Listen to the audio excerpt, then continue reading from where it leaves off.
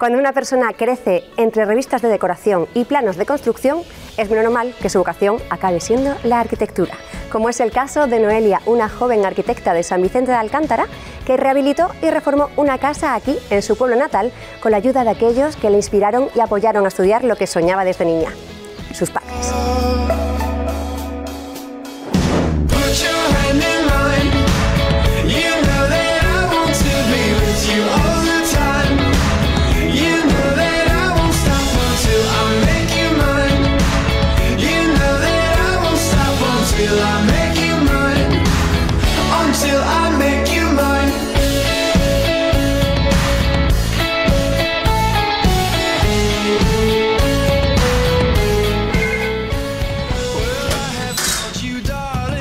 Hola Ana. Hola Noelia.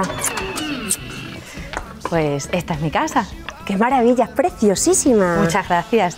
Quisimos recuperar los huecos existentes y, sacarle todo el partido a los materiales que nos íbamos encontrando, como el ladrillo macizo y, la piedra que, podéis ver en, la curva del edificio. Pero esto solamente es la fachada. sí, si quieres pasa y te lo enseño, te enseño el resto. Estupendo. Nos invitas a pasar entonces, ¿no? Sí. ¡Qué bonito!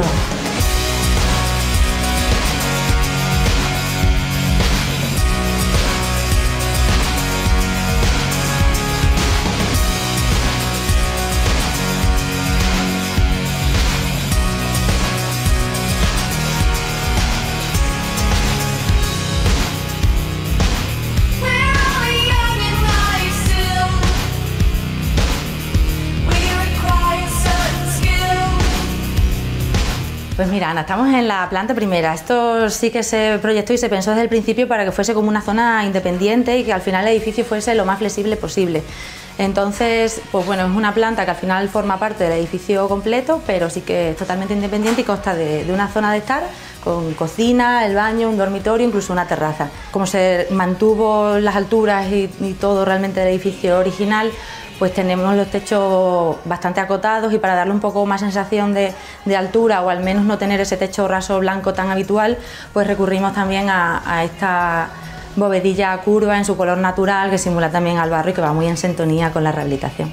¿Es como un mini apartamento? Sí, sí, efectivamente. Al final lo que se pretende es que si, si viene algún familiar o vienen amigos, pues tuviesen como su espacio más, con más intimidad.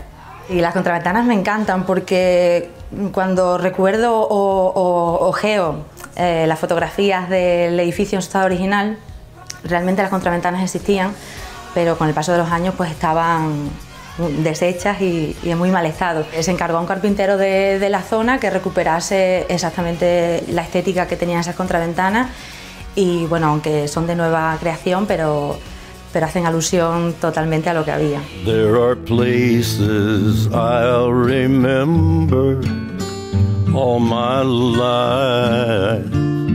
Though some have changed, some forever, not for better.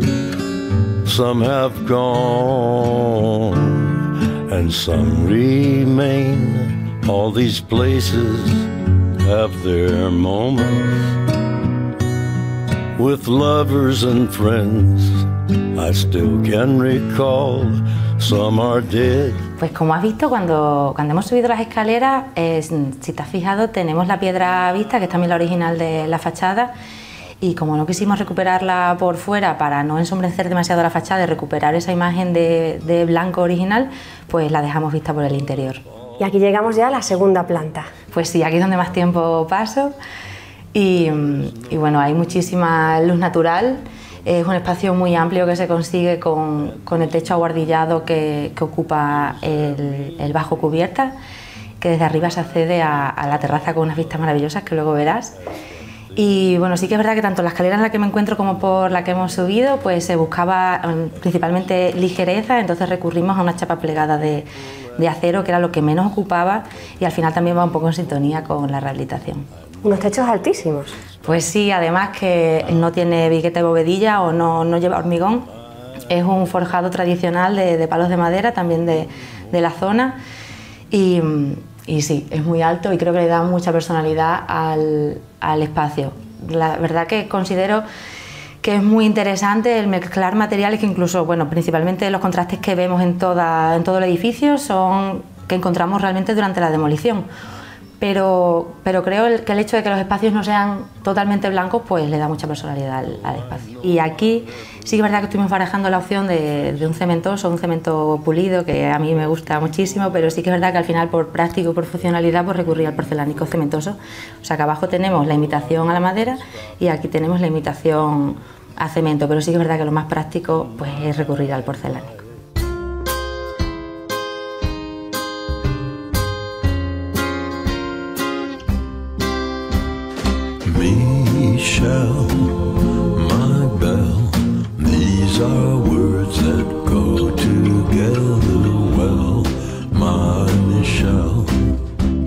Aquí tenemos la zona de estar comunicada con la cocina. Al final lo que queríamos era evitar pues, muchas divisiones o independizar espacios, la máxima amplitud. Y sí que es verdad que esta especie de peninsulita es muy original porque, aunque se puso una base de cristal, pero es una puerta original también de, de la construcción antigua. E incluso vais a ver que está apoyada en un hidráulico en color granate que también estaba colocado en los suelos del, edificio original. Y luego atrás, todo el frente de la cocina, que sí que vuelve a ser un hidráulico natural, que hoy en día se llevan mucho las imitaciones, pero es totalmente natural, pero ya tiene ese dibujo súper característico y lo encontramos en la planta abajo del todo, en un rincón olvidadísimo y lo hemos intentado recuperar. Bueno, por todos los medios había que ubicarle y darle el protagonismo que se merecía. Todo en líneas muy claras. Pues sí, porque al final es que como más luz y amplitud se consigue. Entonces sí, eh, lo neutro, lo natural y lo clarito. La cocina es eléctrica. Sí que es verdad que cuando se compraron electrodomésticos lo que se eh, pretendía era el máximo de, de eficiencia energética, entonces son electrodomésticos con buena calificación, pero sí es eléctrica.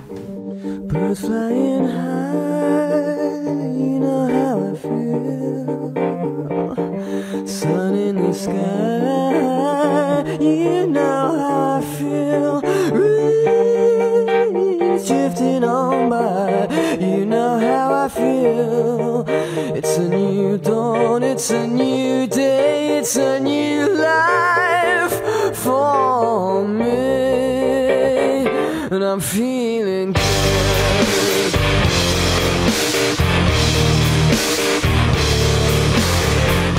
Es la, habitación de, esta planta y como verás aquí los techos también cambiamos por no, por no tener siempre las mismas sensaciones y aquí sí que pusimos también, recurrimos la bodilla curva, pero en este caso es, es blanca. Favorece a que tengamos la sensación de más, de más, altura.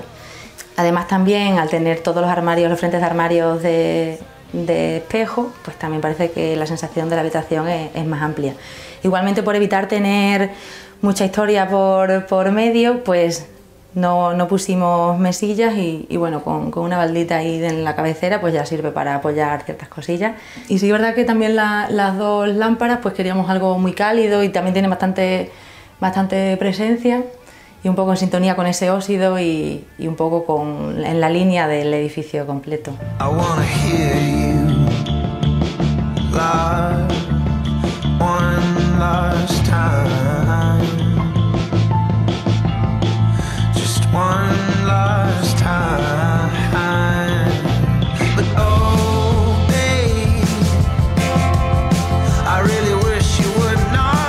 Planta tenemos un baño que vuelve a ser porcelánico también. Bueno, al final al ser un, cuarto húmedo, pues tienes que recurrir a un porcelánico también por limpieza y, demás.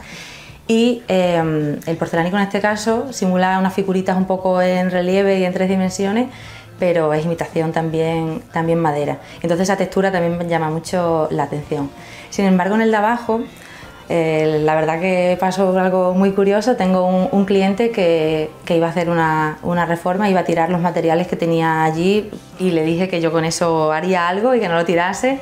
Y los coloqué en el, en el baño de la primera planta, simplemente colocándolo a 45 grados y, ya le daba otro toque y, hasta cierta altura y de ahí para arriba con un gris oscuro cuando le enseñé la fotografía pues la verdad, la verdad que dice, pues, pues está guay, está original por lo menos, sí.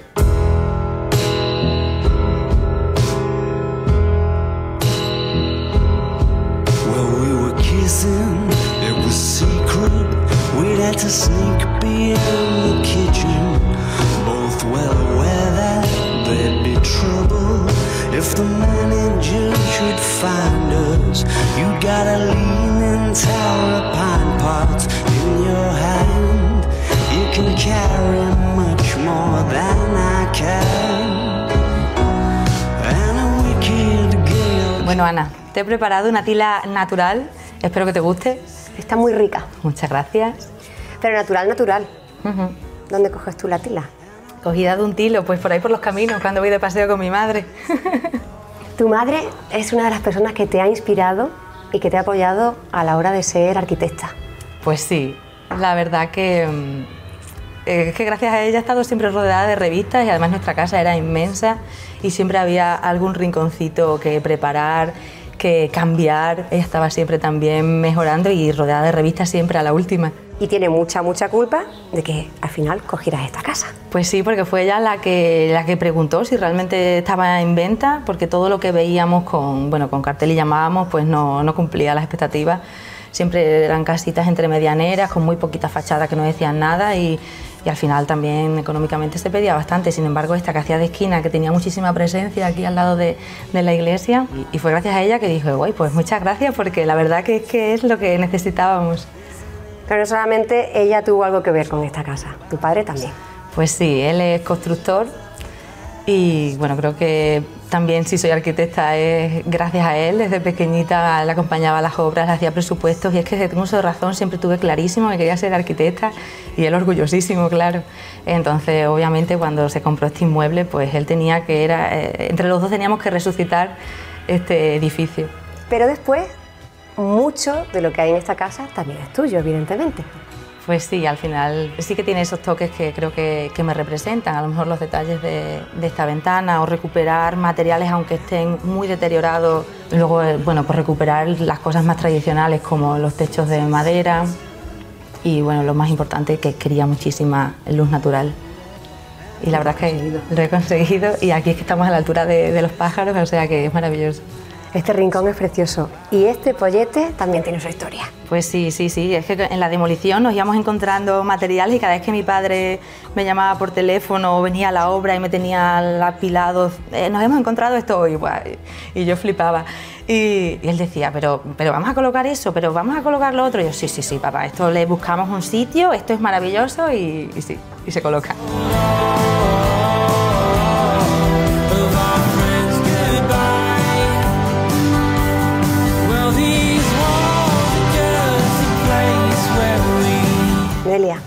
Ha sido un placer conocerte. Sé que tenemos arriba unas vistas espectaculares porque arriba hay otra zona, hay otro espacio, digamos, diferente. Sí, sí, sí. Arriba bueno, tenemos el acceso a través de unas escaleras blancas metálicas lo más ligeras posible. Y sí que es verdad que en su día se, se proyectó, a lo mejor de cara al futuro, pues puede ser también una zona más íntima y privada de lectura o para practicar yoga, pero ahora mismo bueno, también es un sitio donde tenemos la lavandería, o puede ser vestidor. Ahí vamos cambiando, que al final es ir cambiando los espacios. Sí. Y hay una terracita desde la que se ve San Vicente de Alcántara. ¿Nos enseñas esas vistas? No Claro podemos sí. ir sin verlas. ¿eh? No, no, para nada. Las enseño, claro. my home.